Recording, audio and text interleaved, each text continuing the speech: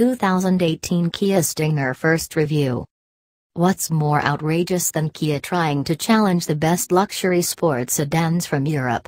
How about Kia succeeding, with its all-new 2018 Kia Stinger?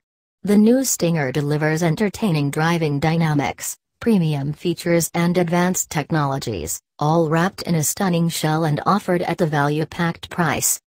The new Stinger reflects Kia's ongoing desire to offer more than just solid transportation at a low price.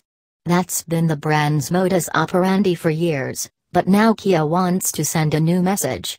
Kia's president and CEO, Justin Son, says the 2018 Kia Stinger will mark a new era for Kia, dividing our history into before and after. Inspired by Europe's classic Gran Turismo sports sedans, the new Kia Stinger features a long hood, short front overhang, broad shoulders and fast back roofline.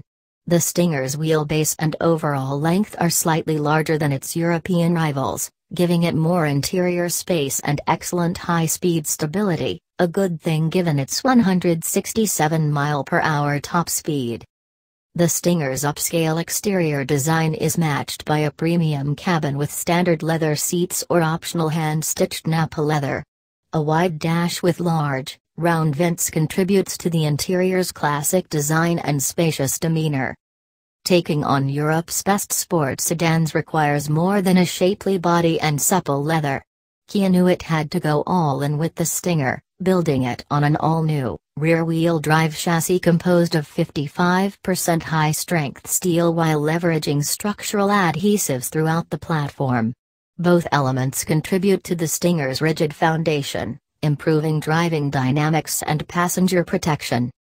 The 2018 Kia Stinger is powered by either a 2.0-liter, turbocharged four-cylinder engine or a twin-turbocharged 3.3-liter V6.